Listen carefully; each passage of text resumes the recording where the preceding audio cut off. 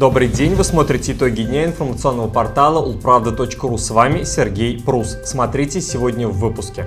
Снимать кино и заниматься спортом. Ульяновские школьники уезжают отдыхать в лагеря. Ульяновцев приглашают на премьеру спектакля «Над пропастью воржи». Музеи Ленинского мемориала приглашают провести выходные в танце, йоге, играх и экскурсиях. Бабушки поселка Мостовая вновь почувствовали себя молодыми.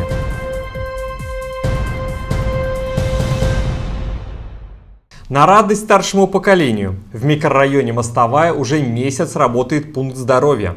Учреждение, где оказывают первичный осмотр, удалось открыть при поддержке регионального отделения Российского Красного Креста. О первых итогах работы в сюжете нашего корреспондента.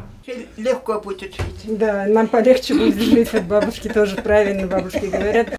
Легче стало жить пенсионерам микрорайона Мостовая после открытия в правом крыле Дома культуры пункта здоровья. Прошлый медпункт еще несколько лет назад из-за аварийной ситуации в здании аннулировали, а новый так и не построили. Жителям Мостовой приходилось ехать в городскую поликлинику. 5 километров пути, чтобы просто измерить давление. Первую поликлинику надо было. Иногда вот и заболит, и не пойдешь, потому что там еще больше народу просидишь, э, времени потеряешь, как говорится. Врачи тоже обслуживают э, долго, потому что надо каждый каждого выслушать, каждого это. Пациентов много везде. А теперь быстро и без очередей. Даже если народ есть, женщины рады. Все свои, с родного поселка. С понедельника и по пятницу здесь принимает терапевт. Медработник проводит первичный осмотр и назначает соответствующие физиотерапевтические процедуры. Вообще подружились с девочками, так будем называть их. Они сейчас девочки стали после лечения. Летают прямо они у нас. Не ходят, а танцевать а летают. Учим. И танцевать. Мы танцевали. Собираемся, беседуем. В дальнейшем будем производить чаепитие различные мероприятия, вязание, игры, например. Пункт здоровья появился благодаря активной позиции ТОС «Мостовая Слобода» и отзывчивости регионального отделения Российского Красного Креста. В дальнейшем, конечно же, все это будет расширяться постепенно, потихонечку. Сейчас у нас уже пошел запрос от жителей с таким, вернее, с такой проблемой, они к нам обратились, что очень сложно записаться к узким специалистам. А, мы ведем переговоры с одной из медицинских клиник. Будет возможность местным жителям, на участникам нашего пункта здоровья бесплатно проходить узких специалистов.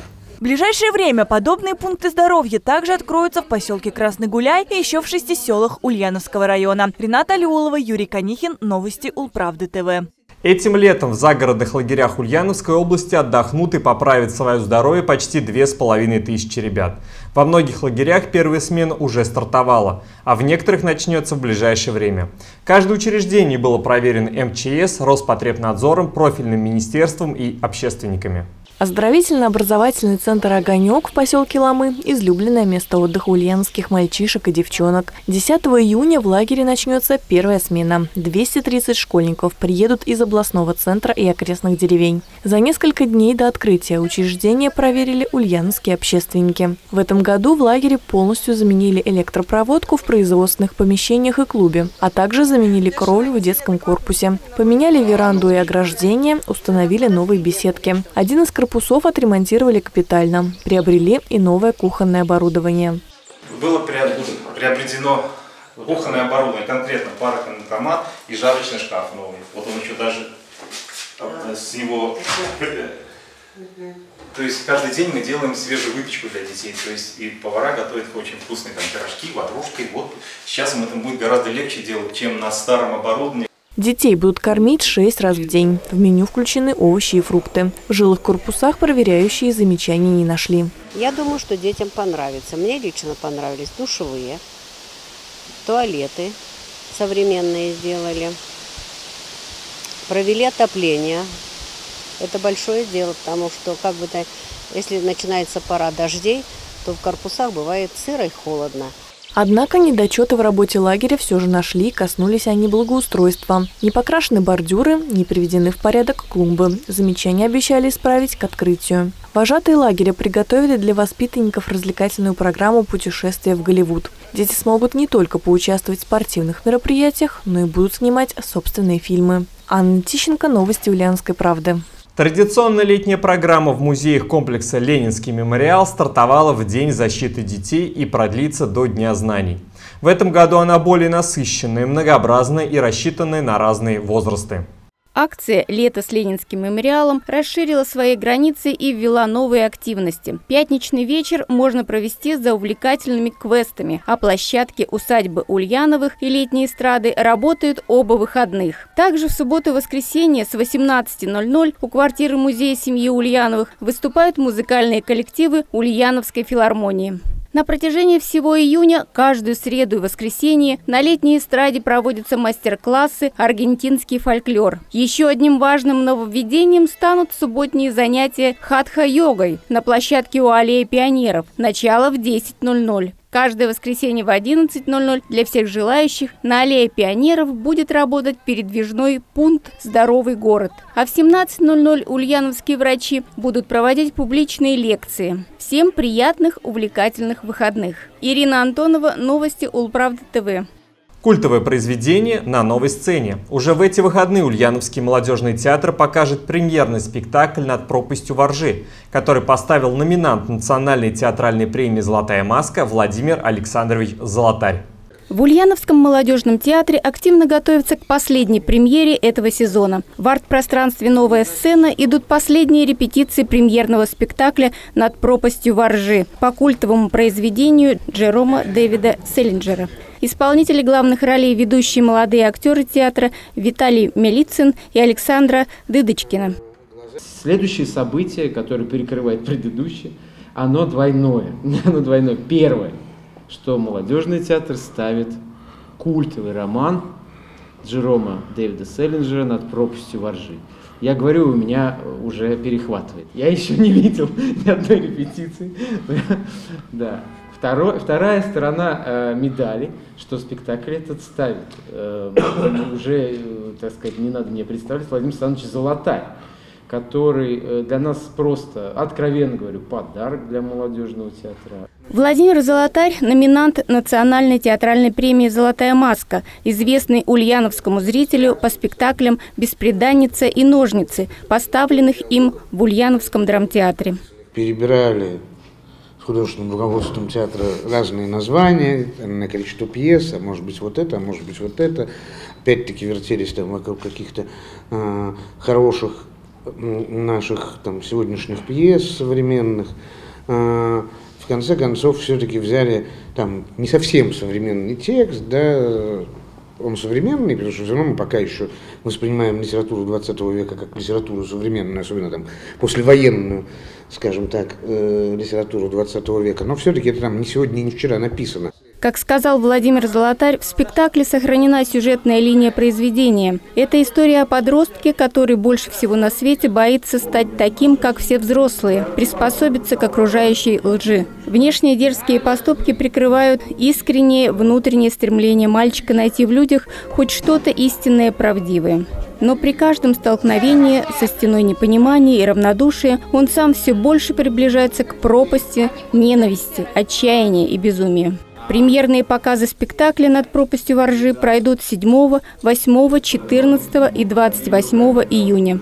Ирина Антонова, Юрий Канихин, Новости Улправды ТВ. Истории в лицах, что может быть занимательнее. Именно таким является уникальный выставочный проект «Знатные люди страны Советов», который работает в музее Пластова. Проект был создан с участием четырех федеральных музеев, Ульяновского областного художественного музея и семьи Пластовых. Подробности у Ирины Антоновой. Центральное место в экспозиции занимает эскиз пано «Знатные люди страны Советов», где герои, 60 выдающихся представителей СССР, летчики, полярники, артисты, музыканты, ученые идут в Москве по Красной площади. Аркадий Пластов написал фрагмент пано «Портрет писателя Алексея Толстого». В этом году исполнилось 80 лет со дня создания панно «Знатные люди страны Советов» в котором принял участие Пластов наряду с десятью другими художниками известными, среди которых Ефанов, Шмаринов, Низкий, э, известные художники э, второй половины XX века. В рамках выставочного проекта Ульяновск посетил заведующий мемориальным музеем квартиры Алексея Николаевича Толстого Инна Андреева. Во время осмотра экспозиции гостья поделилась своими мыслями о портрете Толстого кисти Пластова, предоставленного Московским музеем на выставку. Инна Георгиевна прежде всего обратила внимание на размашистый подробный автограф писателя, где написано «Хороший этюд сделан за 15 минут Алексей Толстой». Заведующая музеем утверждает, что Алексей Николаевич давал автографы в очень редких случаях. Это его восторг от мастерства художника, который за 15 минут мог вот, э, воплотить э, настолько живые его черты и настолько э, э, сделать так, чтобы этот портрет стал ему родным, поскольку, он действительно удивительно похож на портрет его матушки Александры Леонтьевны. До такой степени он любил этот портрет, Алексей Николаевич, что всегда вешал их в паре. Инна Георгиевна призналась, что не знала о существовании панно «Знатные люди страны Советов». Ее порадовало, что на нем Алексей Толстой стоит в паре с летчиком Михаилом Громовым, который очень часто бывал в доме писателя. Интересно, что на картине Алексей Николаевич закуривает сигарету, предложенную Громовым. Хотя, как утверждает заведующий музеем, Толстой никогда не курил сигареты. Он предпочитал трубку.